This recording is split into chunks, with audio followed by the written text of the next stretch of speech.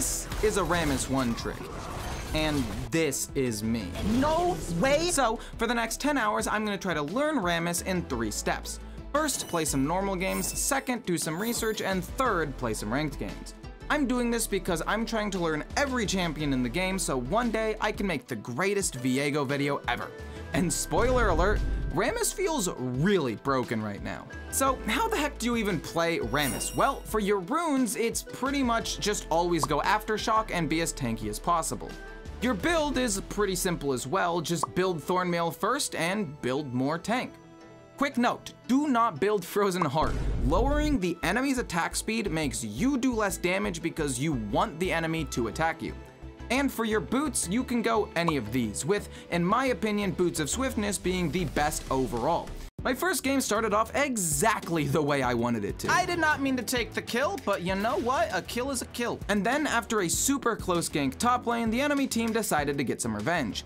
Just when things looked doomed, the enemy Karthus just stood in my ult, taking tons of damage. Then he ran out of mana, so I just killed him. Anyway, after that amazing start, I missed the smite on Baron and the enemy team stole it. We still ended up winning the fight though, but I was just totally ready for my team to start flaming me. Oh, nice. With the team morale still high after winning the fight, we went bot and got Dragon Soul. Now, all we gotta do is reset because we're kind of low and we wanna fight together. Okay, that's fine. At least he didn't die. Oh, come on, Jax. If only I had gotten Baron. But it's... Okay. My last game started pretty well, so I'm just gonna do that again. And then again. Well, that's fine. I didn't need Flash anyway.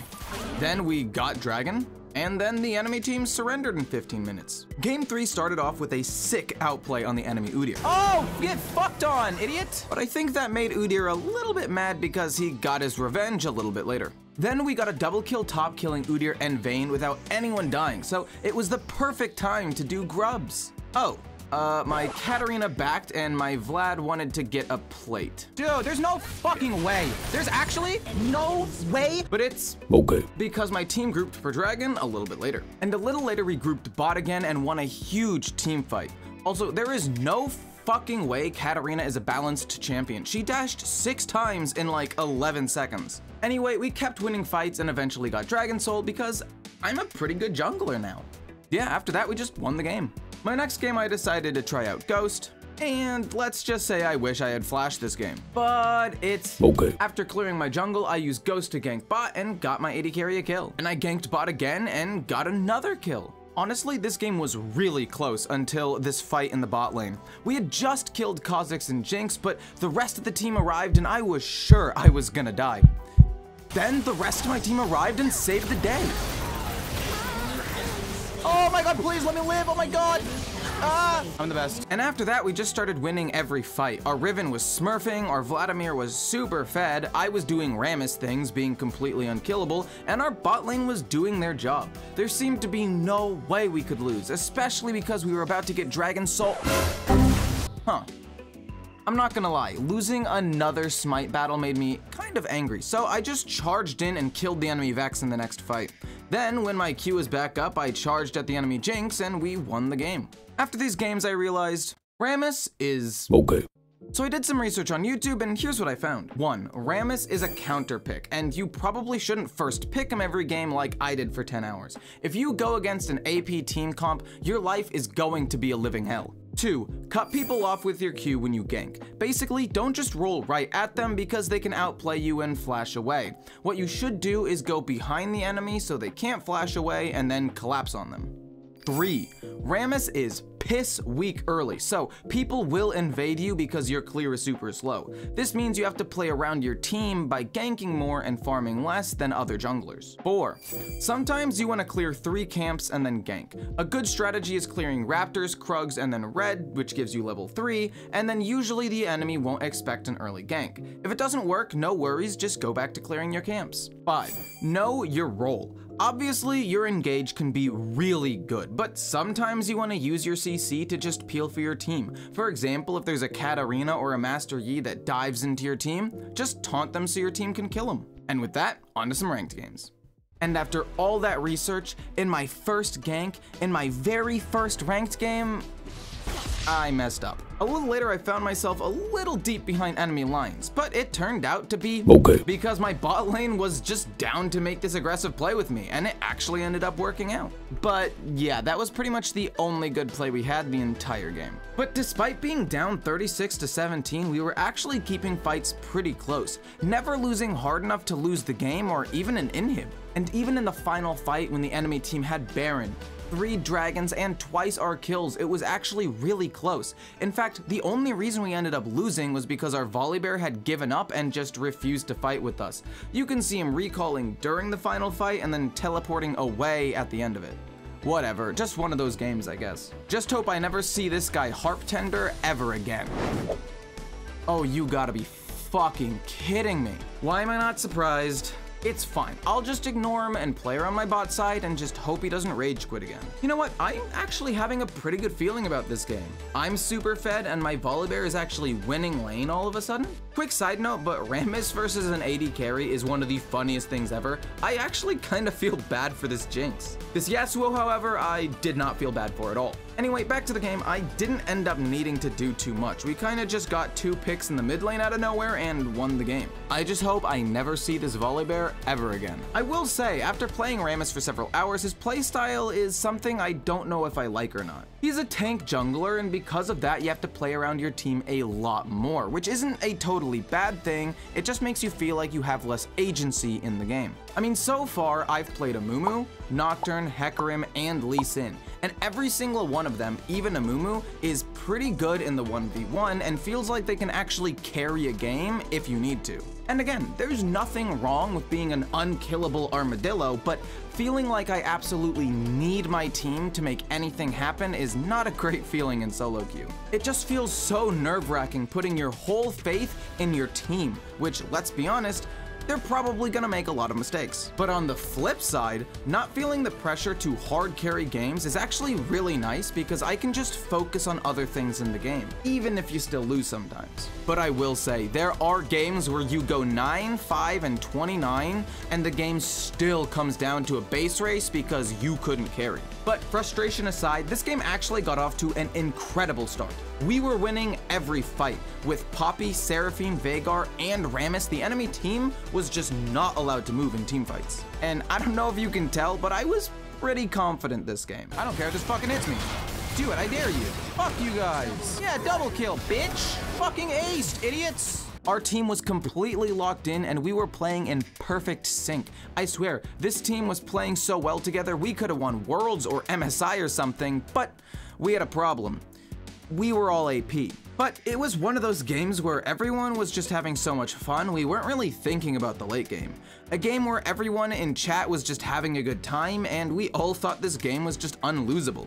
Until, out of nowhere, it became very losable when Veigar got caught out and then I died trying to save him. And things got even worse when my whole team overstayed trying to end the game and we all died. And in the end, my team got a pick and just went to end the game, while I tried to stop Urgot's split push. And even though it wasn't a close base race, it was still way closer than it should have been. Yeah, I needed a break after that one. And as you can tell by my new shirt, I got on the next day ready to have some fun. Oh my. Oh no, this gank isn't going super well at all, but it's fine. While the enemy team is focused on killing Tahm Kench and Caitlyn, I'll just flash away. Oh, right. And even though I was a little angry at myself, I decided to take my anger out on the enemy bot lane, which is totally a healthy thing to do, I'm sure. Honestly, other than the first 5 minutes this game, it was actually going really well. I mean, just look at how tanky I am and look at my Aatrox's damage, holy shit. And now that we're talking about damage, look at all the damage Kalista is doing to herself by auto-attacking me. I'm no AD carry player, but this has to be like the most demoralizing thing in the game, right? Anyway, a little later, the enemy team was doing Baron, so Tahm Kench ate Taric and spit him right in front of my ADC. She got stunned, got killed by Ekko, and Taric made it out alive because Kalista had ult. Then we lost the game. Anyway, after seeing how strong my Aatrox was last game, I decided to gank my new Aatrox this game. And because I didn't get a lot of dragons last game, I decided to focus on getting dragons this game. But despite my best efforts, every lane was still losing. But don't worry everyone, everything is gonna be... Okay. You should be dead. Go away. Good. And when it came down to the last fight, my team came alive. The Shen ult and taunt were amazing, and while I was chasing Kha'Zix, my team was killing the rest of the enemy team, and I was so proud of them. And just like that, we won the game. And with the confidence from my last game, I felt I could do anything. I just needed to believe in myself. This whole time I've been playing Rammus wrong. I'm not the tank, I'm the freaking carry. Screw everyone else. All the kills are mine. It worked last game, so why wouldn't it work this game? Cannonball! My goodness, Rammus is so fun. His ult is amazing. Now, I know I have missed a lot of smites recently, but if I can get this Dragon Soul, I'm sure we'll just win the game. Nice. My next game started with a bad dive. I accidentally canceled my W by using my Q, which made me less tanky, so I died to tower. Then I jumped into a stupid fight because I didn't want to give up dragon. I could have just invaded or ganked top or something, but no, I had to 1v4. But after that rough start, I locked back in and started playing around my team. I mean, it definitely helped that the enemy team went in one at a time this fight, and we just aced them. After that, it just came down to winning one last fight, which we did pretty easily.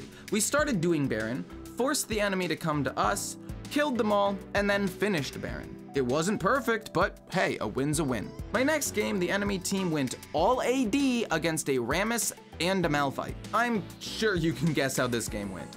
And yeah, even though we lost this early game really hard, I knew that all we had to do was scale, build armor, and we would eventually win the game. At this point, I was on a bit of a win streak, so I continued that momentum by having one of my best games yet. And after ganking top a bunch, Vayne got super fed, and as long as we fought around her, there was no way we would lose a fight. Seriously, with my tank, Vayne's damage, and Nami's heal, we had the perfect combo to just win every fight.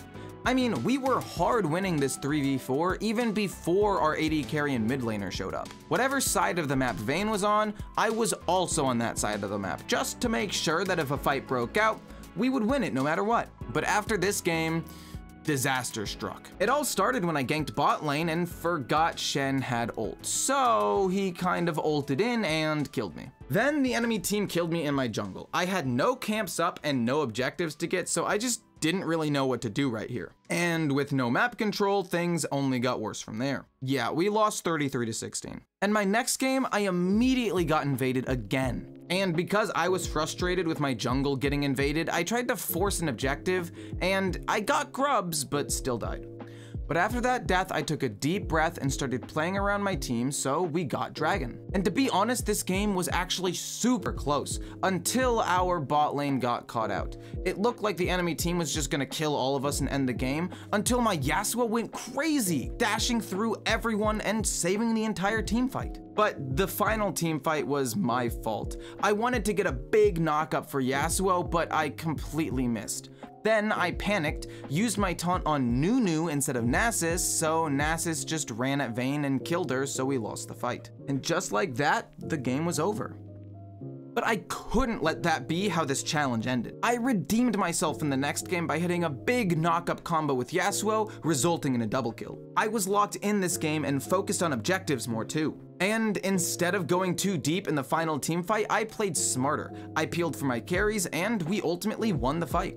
And with that, I could end the challenge happy. Okay.